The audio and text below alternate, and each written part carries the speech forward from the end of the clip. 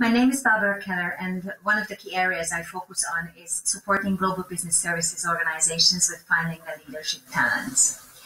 In our global business services practice group at Pedersen Partners, we had the chance to talk to many leaders across Europe and Asia Pacific and discuss their past experiences and their post COVID expectations. We analyzed what went well, what posed challenges, and what SSC leaders expect to face in the next month in 2021. Automation. Automation gained ground in shared services in the past years, but in 2020, the pandemic accelerated these processes. But life proved that automation without people won't work. Technology alone will not solve problems, and in addition, digitalization possibilities depend largely on the maturity of the organization as well. Moreover, we all see that companies need additional investments due to COVID impact, and so budget will be a question. The solutions we found are that restructuring and establishing more and more end-to-end processes will be essential, driving towards digitalization while not forgetting the human factor. GBS leaders see their success in creating cross-functional teams and uh, possibly reorganizing siloed models. The aim is to establish an organization with the ability to change, find out how they can add more and more value to the business, and um, keeping the basic values in mind, staying cost and time conscious and effective.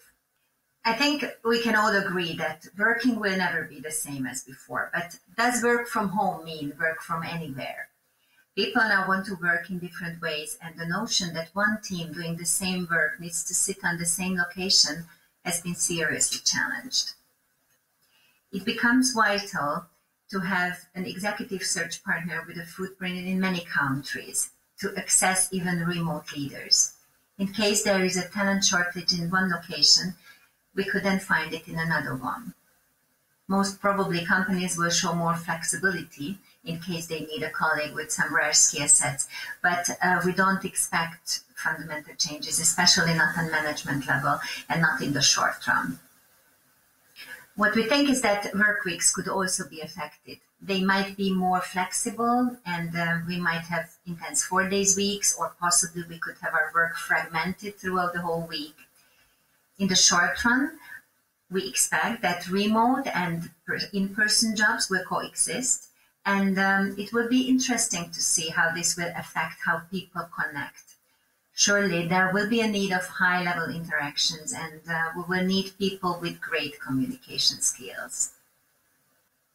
What to recruit? IT, uh, data science jobs will be in high demand. The required skills will be quite the same as before. Project management, time management, and organizational skills are essential. But for sure, companies look for professionals with flexible and make it happen approach and will also want to keep these talents. But how to keep people engaged in a more digital environment?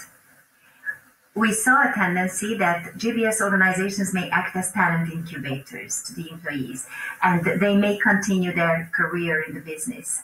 This is good both for the business and the employee as this would enable a more efficient collaboration later on. Business centers shift today from transactional execution to solving business problems. So what we expect is that leaders will refocus on their people.